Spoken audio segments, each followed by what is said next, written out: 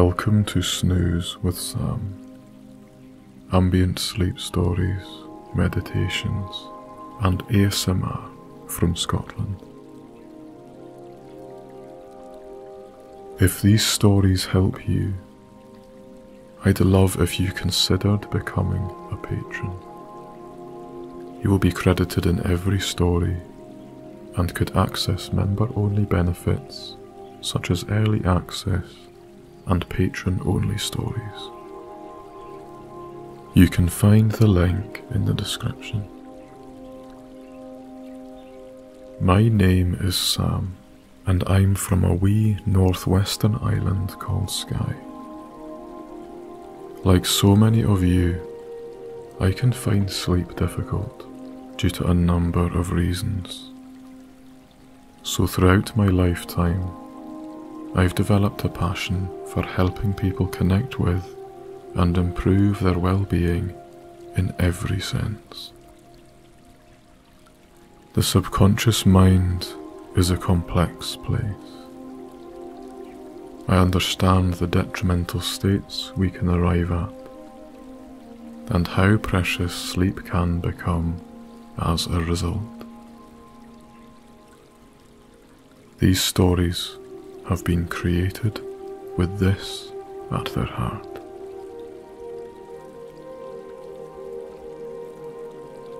So, as always, lie back, take a deep breath, and enjoy this story.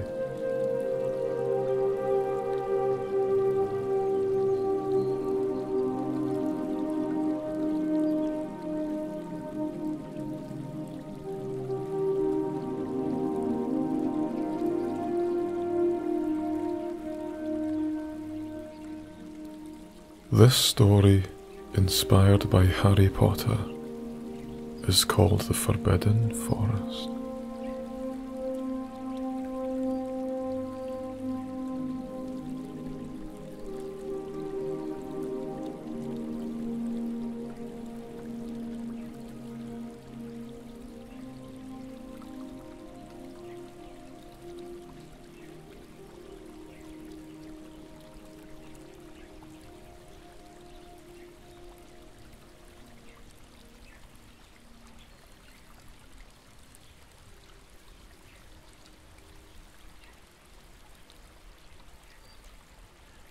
At the foot of the trees, the forest doesn't feel as intimidating as you'd expected.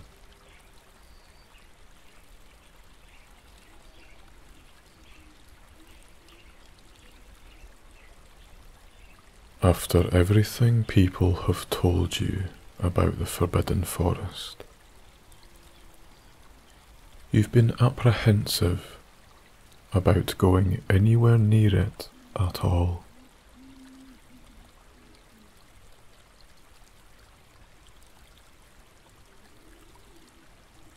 Every professor has warned their students, including you, about the threats that lie within.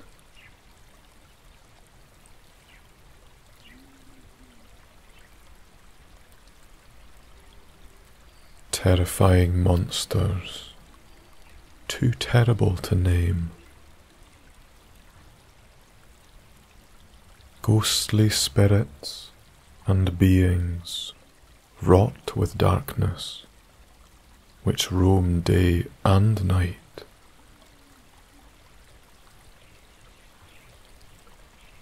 Among many other creatures worth avoiding.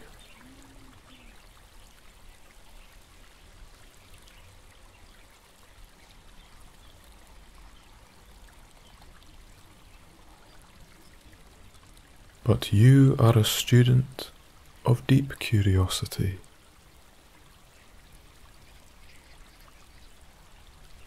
And besides, you are not alone.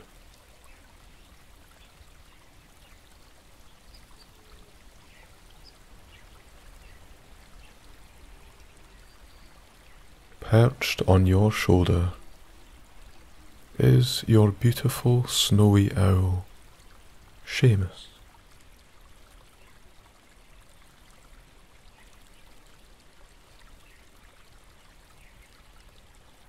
He's a distinctly Scottish owl, of course, having travelled with you from the Highlands ever since you left for Hogwarts.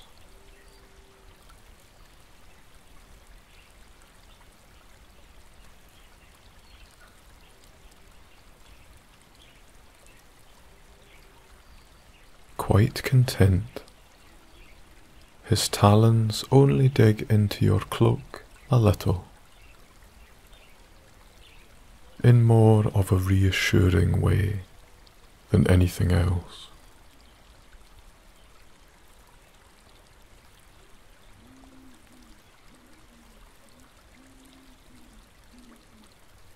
His presence makes you feel safe.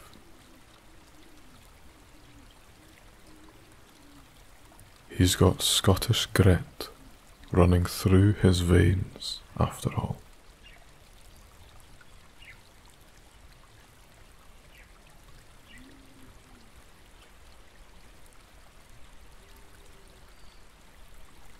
You've never seen an owl give anyone a Glasgow kiss. But you wouldn't put it past Seamus to do the honours against any foe for that matter.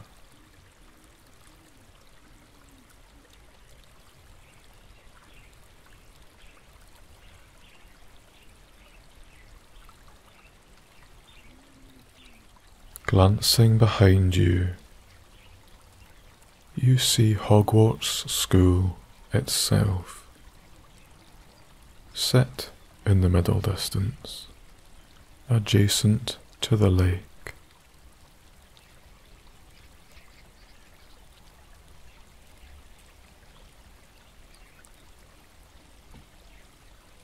It looks so high up from down where you are.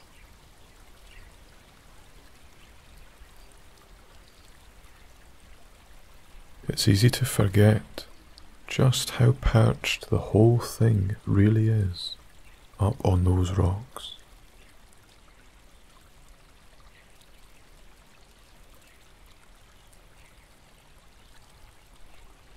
The tallest turrets must surely stretch over 300 feet into the air.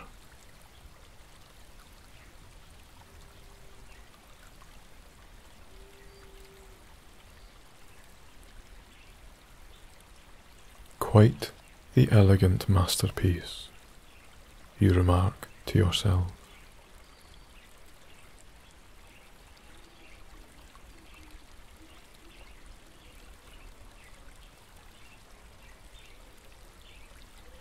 Beyond the school, you can see the distant flying flags of the Quidditch pitch. Only just protruding from behind the rocks on which the school is set.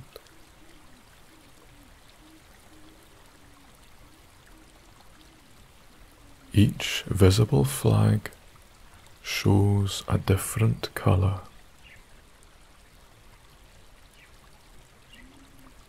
Blue, yellow, red, and green. Each of the house colours.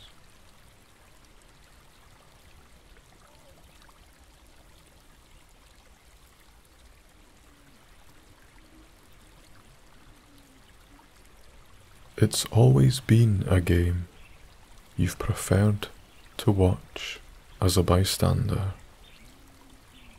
rather than participate in.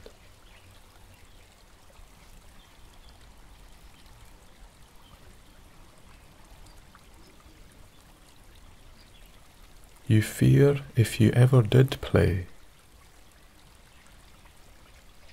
an uninvited additional team member in the form of Seamus would start tackling your opponents, or stealing the snitch or something.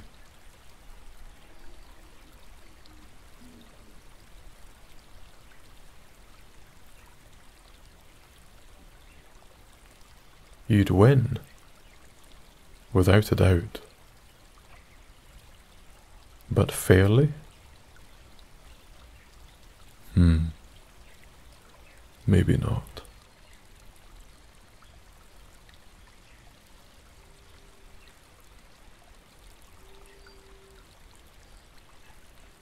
The afternoon had presented itself with a gap in your day of around three hours.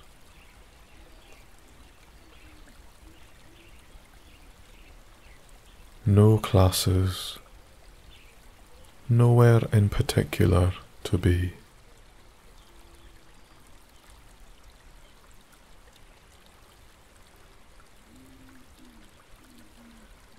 So you thought to yourself, toiling with ideas. Where are you desperate to explore?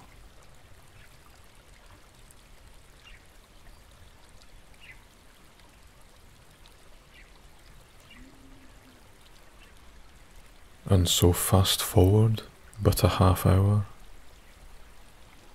Here you are, staring deep into the trees with your companion close by.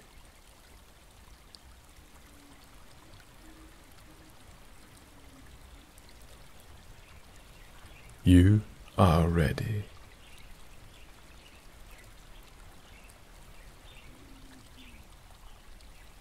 With a little sigh,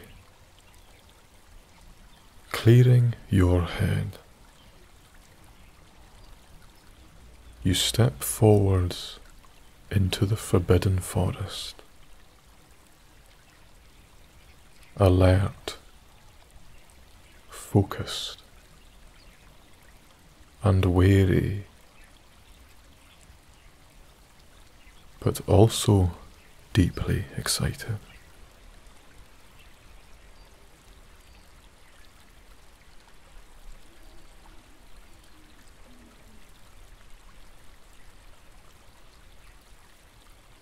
The darkness closes in fast,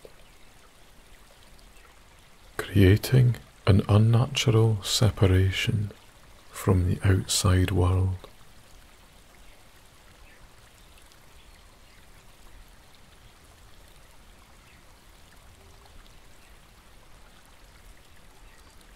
Almost immediately, you feel isolated from where you stood mere moments ago.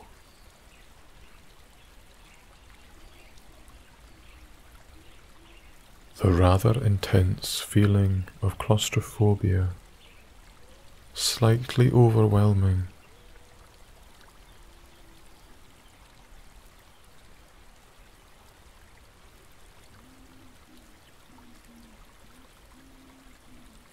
This soon resides, however, once you're accustomed to the space, or lack of it, or so.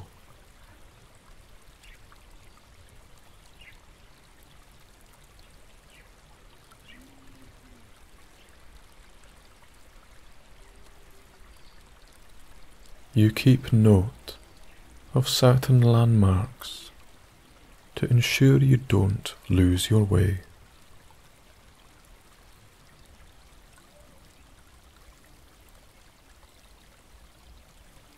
Fallen pine, broken by the wind a couple of feet above the ground.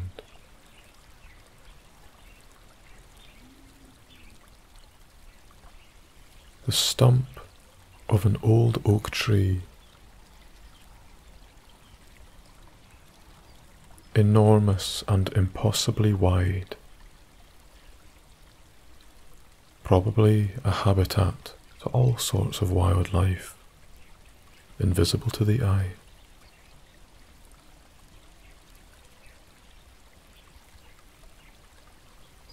And a small trickling burn carving through the spongy earth, barely tinkling away.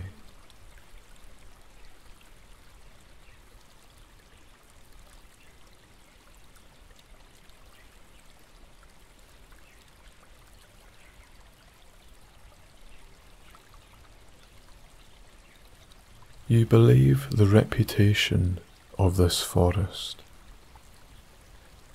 has warped your perception of what's actually here.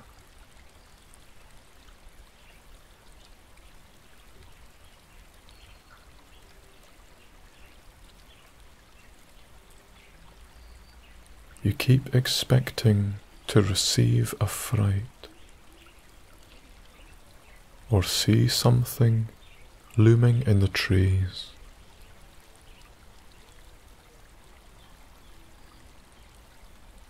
But the reality appears to be vastly different.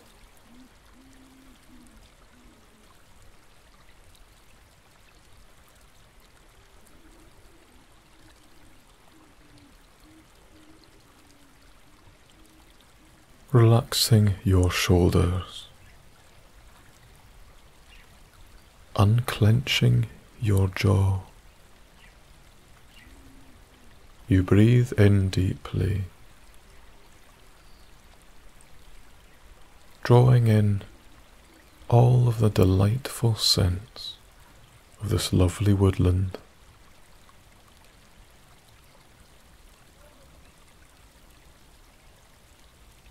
The result you begin to see, hear, and smell this woodland for what it really is.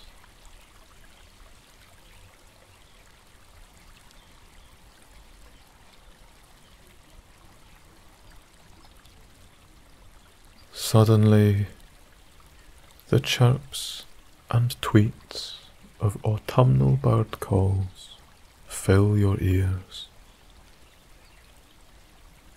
whereas before you didn't even notice them.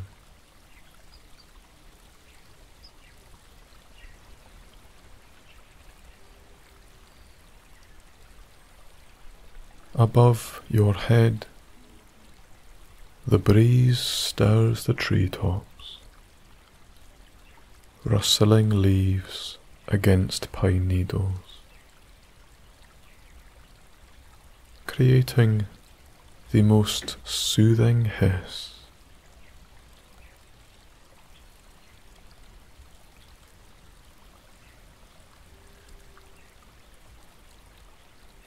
Another layer down, beyond the surface noises, the occasional bleat and baa of Hagrid's goats. A nice wee reminder that you aren't really all too far from home.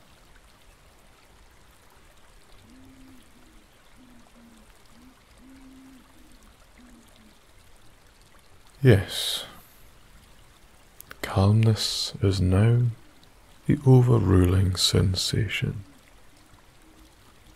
in both body and mind.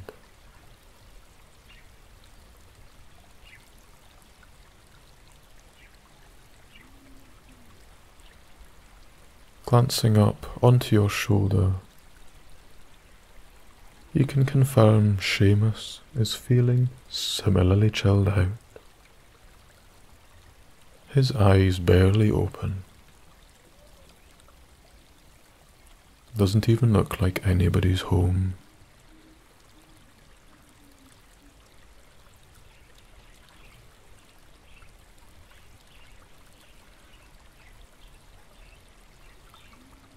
The minutes go by.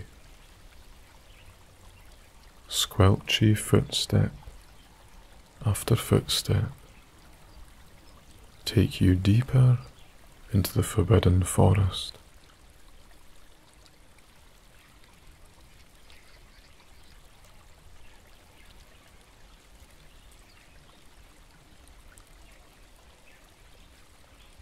Something in the air changes.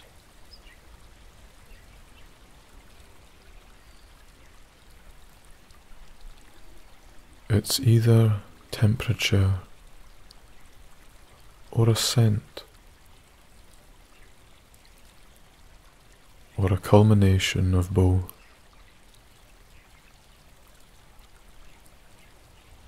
You can't be sure.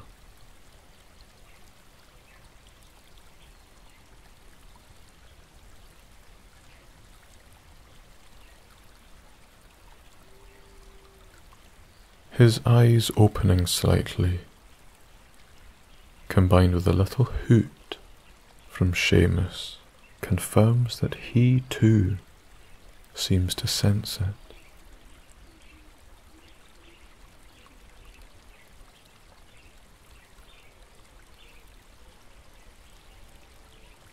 But he is not alarmed by it. Otherwise, he'd be flapping your ears clean off.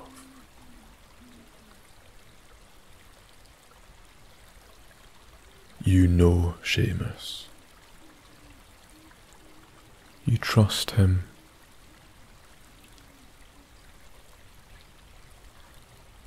He is calm,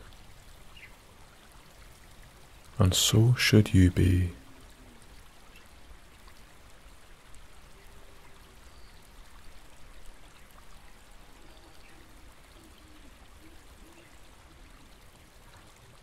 Somewhere off to your right, you see something move,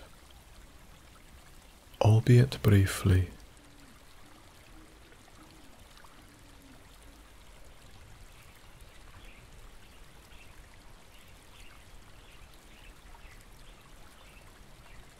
It was a pale, luminous something or another, moving behind the trees.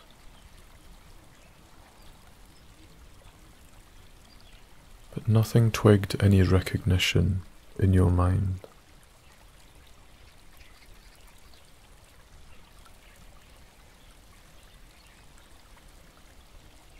Carefully, for precaution only, you reach across your chest, sliding a hand into your inner robe pocket withdrawing your wand.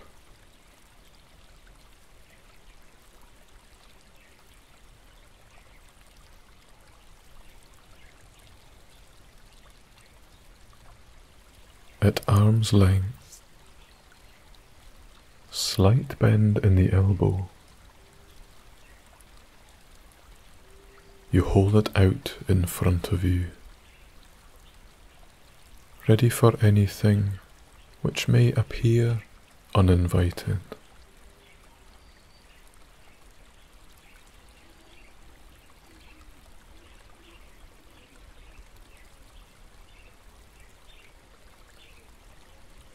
But then you think to yourself and pause.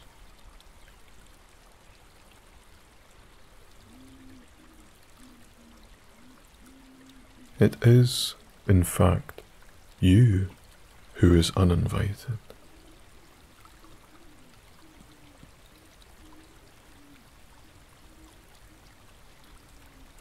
You bear this in mind.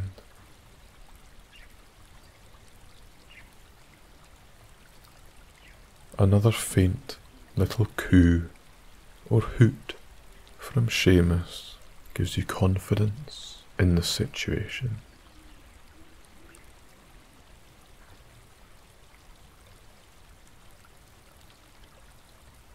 It will all be fine. Just stay calm.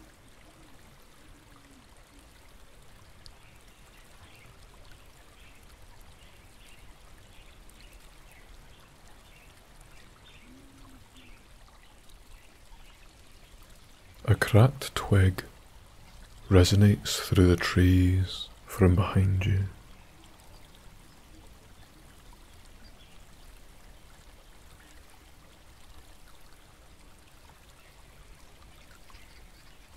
Spinning fast on your heels, you cock your wand ready to incapacitate your foe.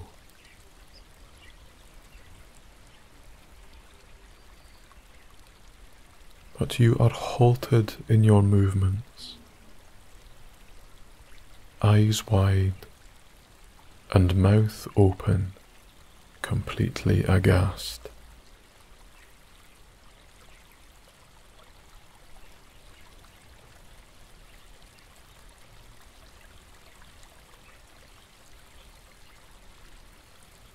Around twenty paces away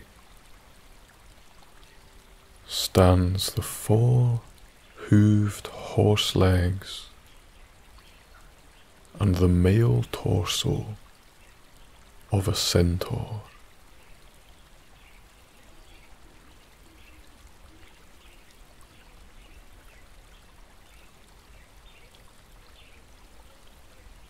Broad muscular, and assertive in stance. You subconsciously take a half step backwards from them.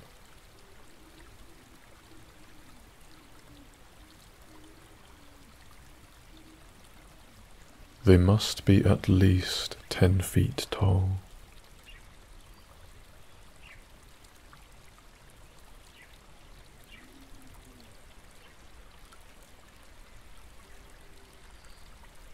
Be at peace, young scholar. I mean you no harm. Their deep, godlike voice booms through the forest,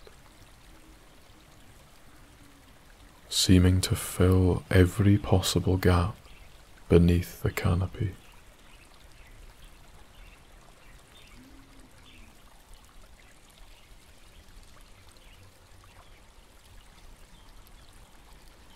You remain poised, wary of your unfamiliar surroundings.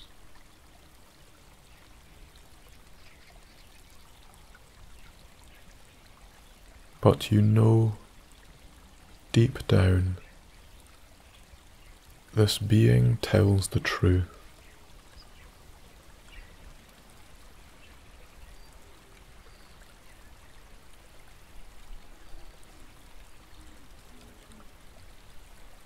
Other witches and wizards who claim to have encountered these centaurs tell tales of a peaceful, honourable kind. I feel I must warn you of your surroundings.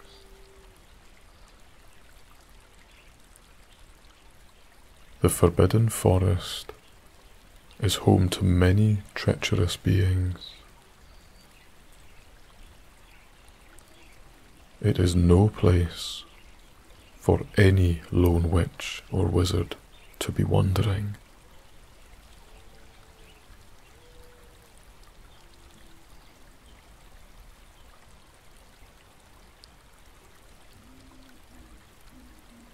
But I'm not alone you cry. I've got Seamus.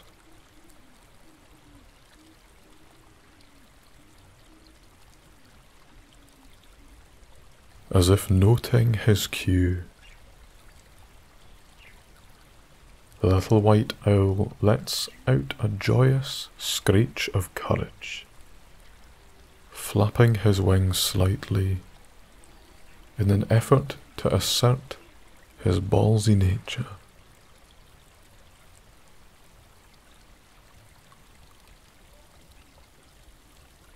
I have no doubt of this Seamus's profound capabilities as a bodyguard. The centaur mused with a smirk.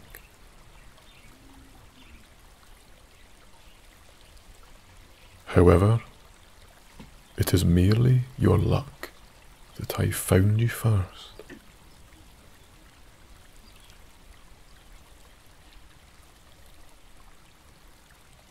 Next time, you may not be so lucky.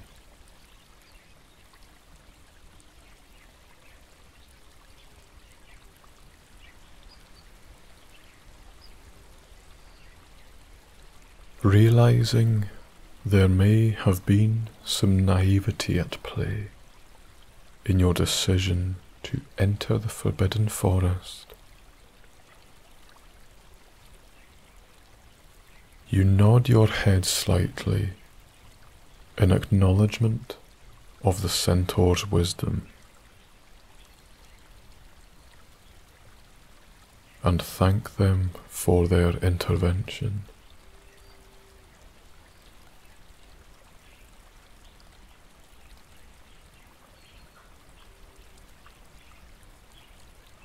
You feel mildly foolish for disregarding the demands of your professors.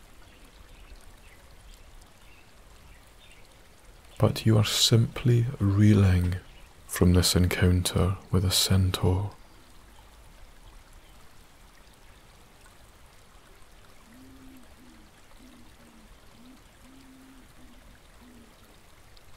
You've only ever read about them in books.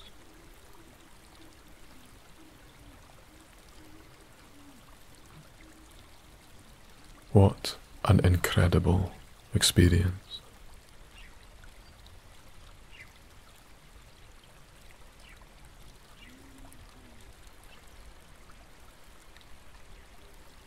Make haste now, please.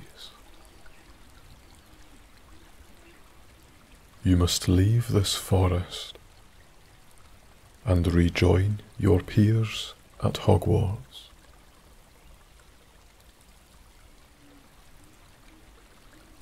And please, for your own safety, do not return here.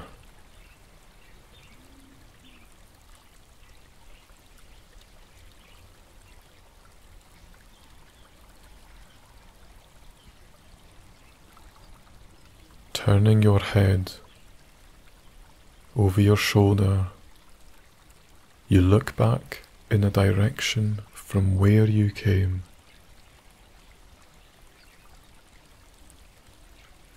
But when your gaze returns to the centaur, they are gone.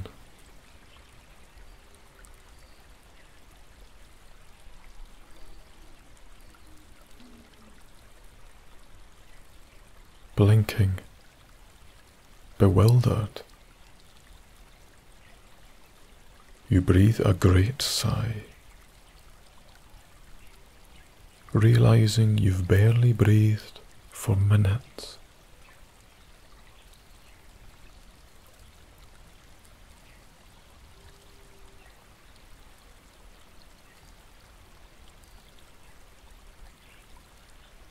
Without a moment's more thought, you whisper to Seamus to lead the way.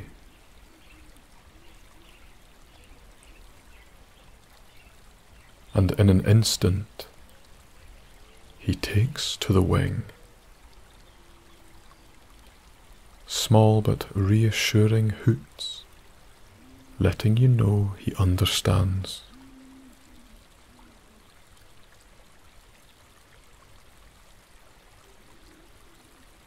You run after him.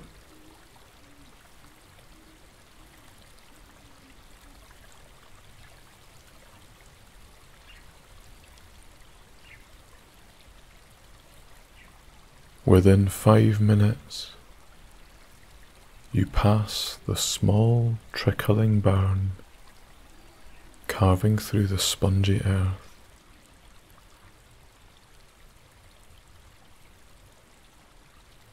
The vast stump of the great oak tree.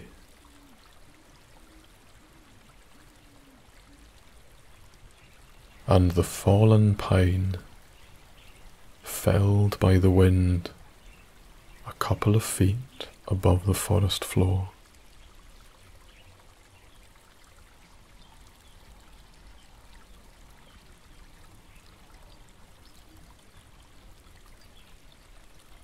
And then you see daylight.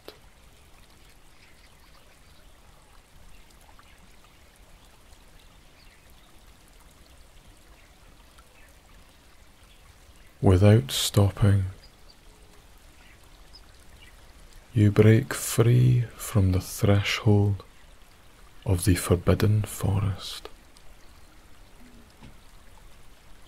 and keep running. aiming for Hogwarts.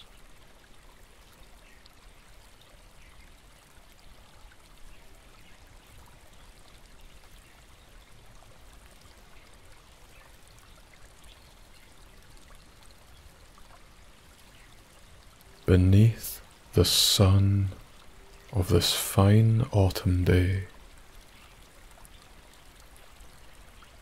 you run and you run, not looking back.